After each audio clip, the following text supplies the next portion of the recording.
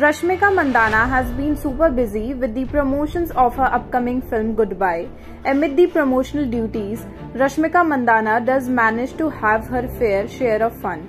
The reason we brought this up today is because she shared a picture of herself sharing the stage with singer Falguni Pathak. Rashmika Mandanna posting the image on her Instagram stories wrote, An evening well spent in Mumbai with the Dandiya Queen and my loves. Happy Navratri. Falguni Pathak chose a black and golden jacket while Rashmika was dressed in a bright pink and blue ensemble. They both smiled and turned to face the camera as they posed in front of a crowd of fans. She added a red heart and a flower emoji to her caption as well as tagged Falguni.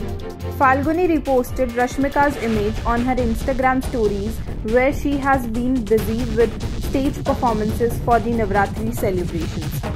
That's all for now. Keep watching Newsite for further updates. Thank you.